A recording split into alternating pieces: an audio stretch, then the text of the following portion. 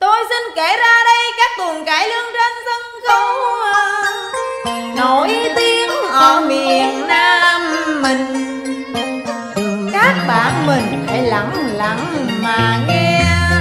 Tôi kể ra đây theo thể điệu xuân tình. Gây sóng gió bất bình là bên dòng tay mẹ. Đơn sơ gọn nhẹ quán đầu làng. Phụ khó tham sang gánh cỏ sông hàng. Duyên phận lỡ làng, câu chuyện mười lăm năm sau. Cảnh sống khổ đau, tiếng hò sông hậu. Quán hận thâm sâu giọt máu quan cừu. Được thưởng quân chương tìm lại cuộc đời. Cảnh đẹp tuyệt vời khách nổi tiếng gần xa, tình cả biên giới ờ, nghe đâu cũng nói qua biên giới lừng thần.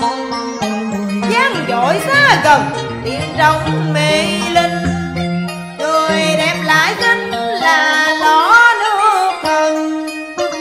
Vì nước quán thân là tuổi xuân lưu lạc, trừ quân loạn tặc là giết gậy thần. Chẳng biết tiếng đằng. Giọt lệ tuôn tràn